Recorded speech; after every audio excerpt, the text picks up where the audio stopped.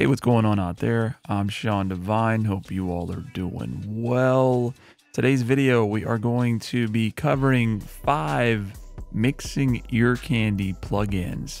And so these are plugins that are going to allow you to add some really cool flavor and modulation and movement to your mixes or your productions to, you know, really just create some excitement that uh, is beyond just you know pulling the faders up and down and panning and compressing and EQing and adding reverb and all the other things that we do. This is just going to take it up a notch. And when your listeners hear this, they're going to go, How in the world did the engineer or the producer do that? So let's go ahead and dive in here. The first on my list of top five mixing ear candy plugins is ShaperBox 2 from Cableguys. This is a very very powerful plugin that provides a lot of different parameters for modulation. So you've got a time module, volume, pan, width, and filter. And then you can set these up all in tandem to create some really cool effects. So for this one here, I actually used it in an intro for one of my songs that I released recently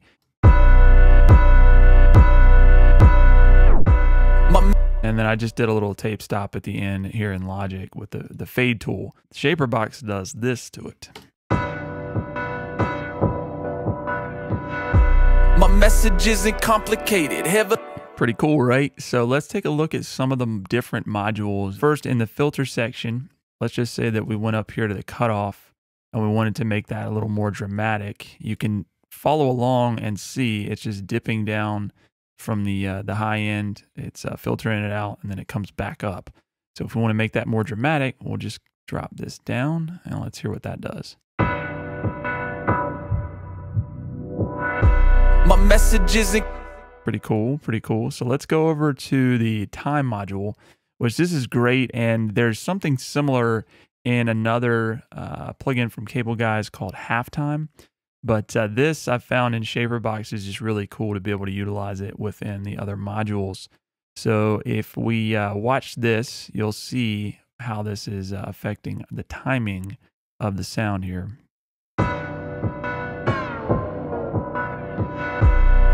So let's say we wanted to just move that curve. My message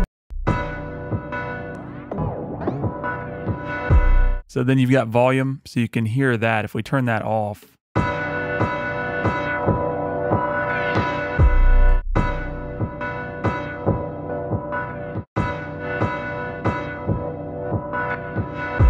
my message is and we're also controlling the panning. You can hear that going from left to right.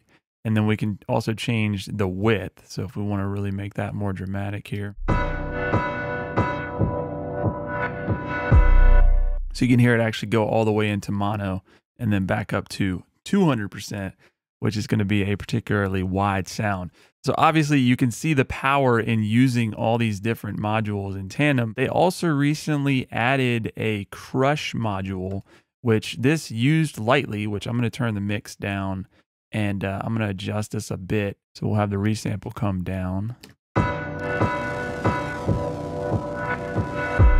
Really fun plugin here with Shaperbox 2. So many different creative possibilities. You know, I just use this in more of a production sense. Obviously, you know, we're applying a lot of mixing type effects, but you can use this on vocals, you know, different uh, transitions and maybe a bridge section where you want to add something really interesting to some instrumentation or the vocal. Coming in at number two on my list of ear candy mixing plugins is Effectrix from Sugar Bytes. Sugar Bytes makes some very unique instruments as well as audio processing and mixing tools like this one. They also do one that I really like called Looperator, which uh, is definitely an honorable mention on the list. But uh, Effectrix, in my case, gets used most out of those two. And uh, it's a very fun plugin where you have, once again, all these different modulation options and cool little effects like reverses, stretch, vinyl, tonal delay, a stutter.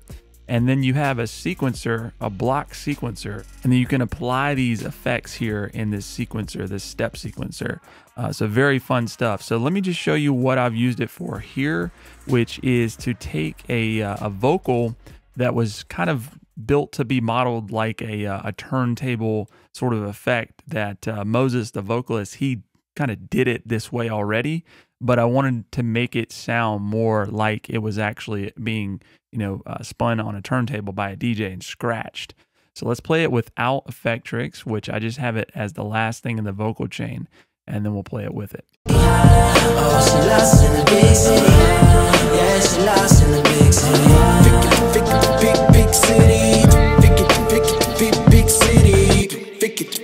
big big city. Big, big, big, city. So you can hear it. Moses already did a good job of just kind of doing that sort of delivery. Now watch Effectrix, and what I've done is I've just programmed in the vinyl effect, which is uh, something like a tape stop sort of thing. And then we've also got the little scratch loop that's on the uh, the last of this bar. So take a listen here. Big, big city. Big, big city. Big, big city. Big, big city. If you have Logic, you've got something of a tape stop with the fade tool. Uh, but in terms of other DAWs and also just being able to program it in this way where you can just do it in a sequencer versus having to go in and like draw all this stuff, it makes it a lot more convenient. Let's just say that uh, we wanted to, you know, put in some of the filtering and things. Let's just put that like say right here. From big city from big city, big big city, big big city, big city,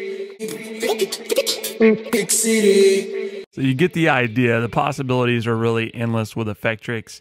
And I just find that it's really fun to use on vocals, also obviously on instrumentation in a mix. You know, sometimes if I need to do some cool little tape stops or some stutters with a beat, the producer has kind of given me free range to do some of that type of stuff. This is one of my favorite uh, ear candy toys to uh, pull out and make that mix more exciting. Coming in at number three on my list of top ear candy mixing plugins is a collaboration from Dance and Trance pioneer producer BT as well as iZotope. It's called Stutter Edit. I'm sure a lot of you have heard about it. Uh, this was uh, being mentioned a lot more. You know, I feel like not as many people are talking about it, which I know they're out there using it because it's very unique and it does something really, really cool in terms of uh, chopping up audio into these very, very fine cut divisions. You can see here we have some insane note values, and then we can also do things with delays and crazy filtering and quantizing, and it's a deep plugin. And you can trigger these DJ style, which I'll show you in just a minute on your actual, you know, stereo bus, your final mix, or you can use these in your mixing process to really jazz up things like delays, even a reverb, or even, you know, just particular parts of a vocal, which I'm going to show you right now how we can add this to a delay to do some things that are going to definitely turn heads when people hear this. So if I play it back right now, I've turned the delay up just for the example to uh, exaggerate it a bit so you can hear it. And then I'm going to turn on stutter edit and we'll start uh, using some of these gestures is what they're called.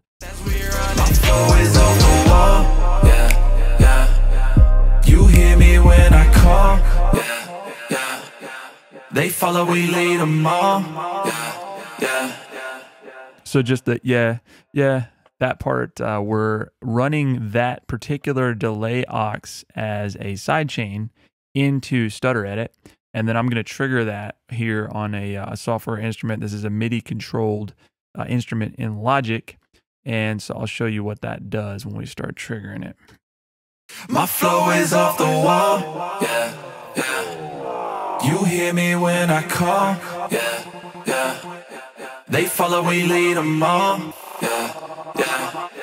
Don't doubt when I said that I ball. Yeah, yeah. Foot in the door and I'm fitting to get it now.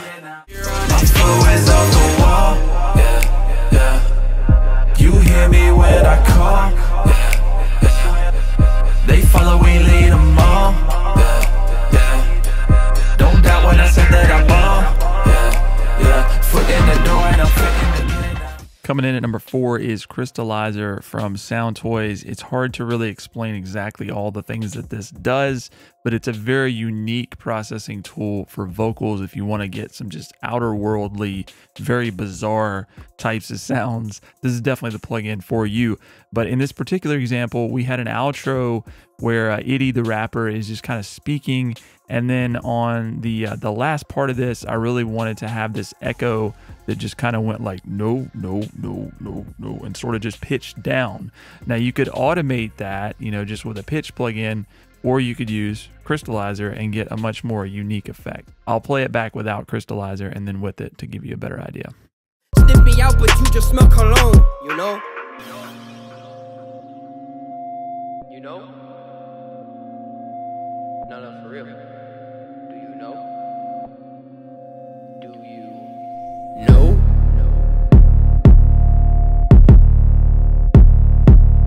So that last no, you know, right now it's just got this echo or this delay on it.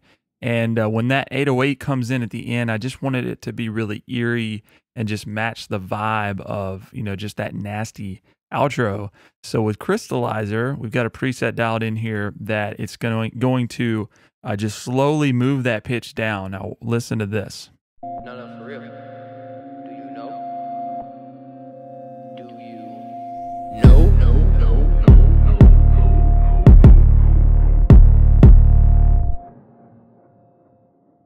I'm going to solo that and let you just hear it. It's really cool.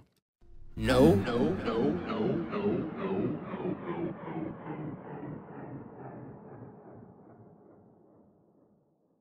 That's just one use of Crystallizer. Lots of possibilities. I use this in a ton of different sessions, and I would encourage you to experiment with it for vocal processing because you can get some very very unique stuff out of it. Last but certainly not least on the list of top five ear candy mixing plugins is a stock plugin in Logic Pro X and it's called Step Effects. And so you've got a, a, step modulation here and you can route this to all types of different effects here, uh, filter, distortion, reverb.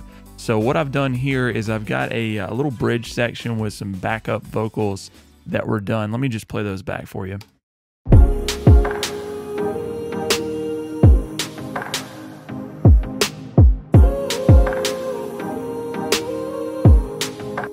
All right, so now with this uh, setting in Step Effects, we're going to modulate the gate as well as the panning. So let's hear what that does.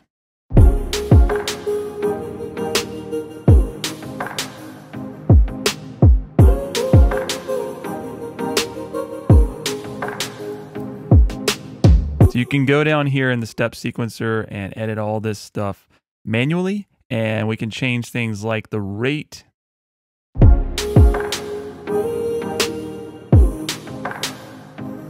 And then we can also route to all the other things here in the plugin, like the filter cutoff.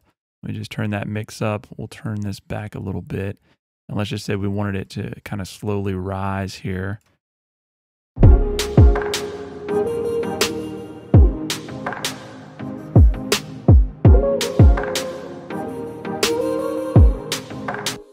You could also switch, let's say we wanted to control the reverb mix, you can automate that.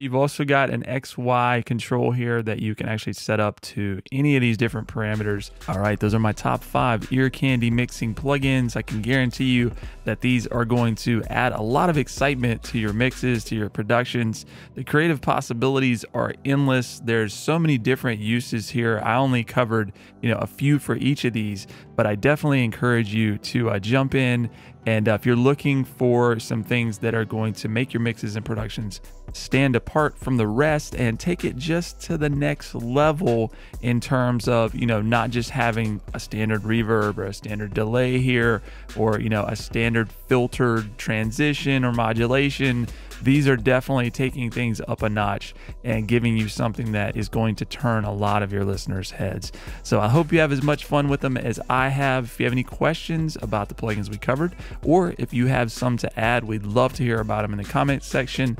Let us know below. If you learned anything in the video, please like, subscribe, and consider sharing. And we'll talk to you soon.